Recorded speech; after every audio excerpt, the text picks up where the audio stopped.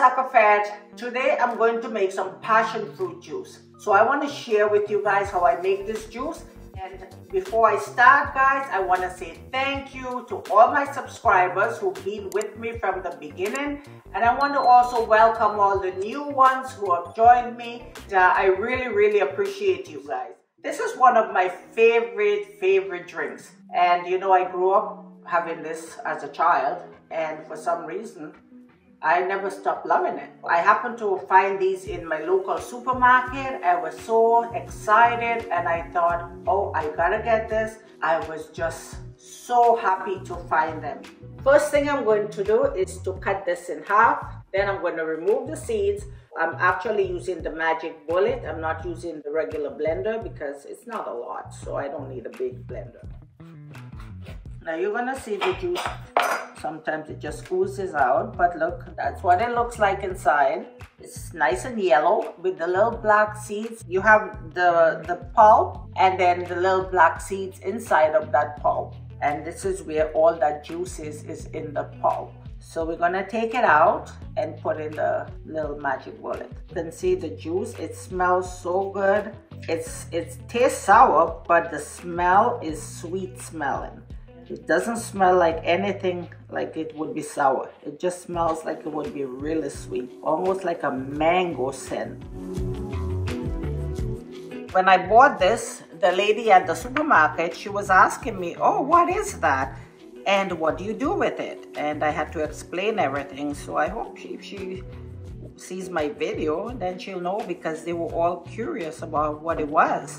I think she said they went online to check it out but they had no idea. They thought you just cut it and eat it. I'm like, I don't think that's gonna taste all that good. If you try to eat it like that, it's gonna be really sour. I have two of them in there and you see all the juice in there.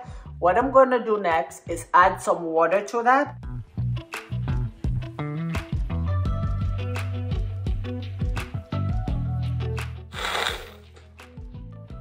Okay, look at that. It has that milky color to it.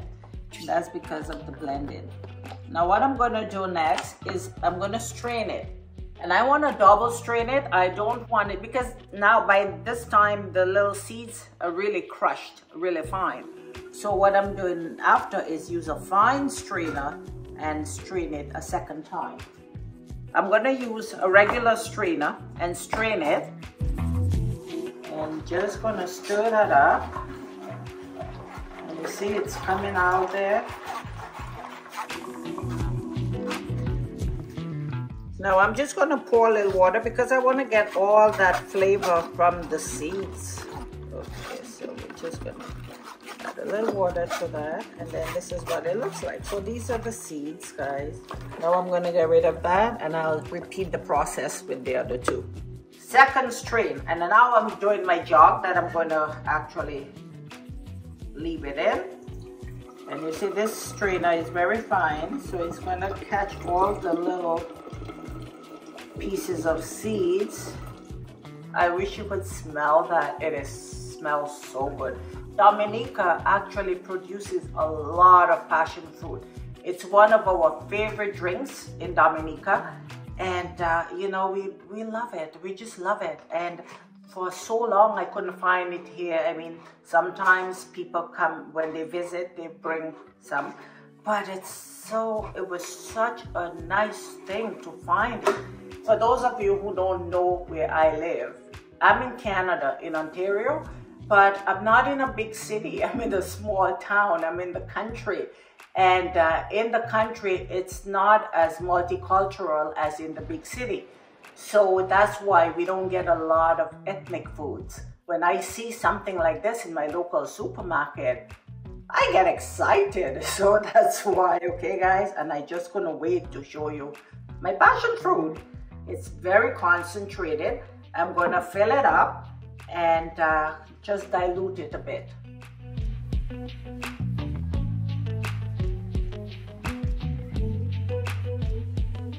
Look at the color, guys. It is so pretty. Now, is it orange or is it yellow? I don't know. It's in between. Next step, I'm going to put some sugar.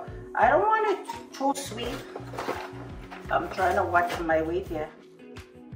while I'm doing this, I just want to say again, thank you, thank you for, supporting me for all these years. We are almost at 3,000 subscribers.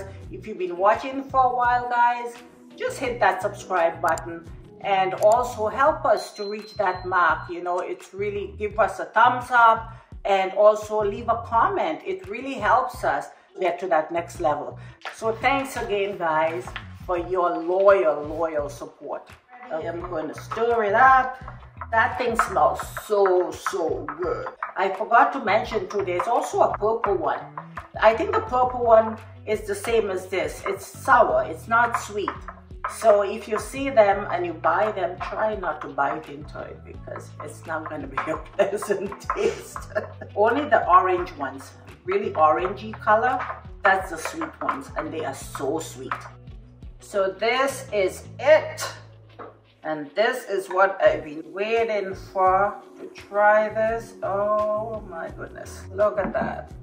Nice glass with ice cubes and this is how you do it. Cheers guys, I'm gonna take a sip for you.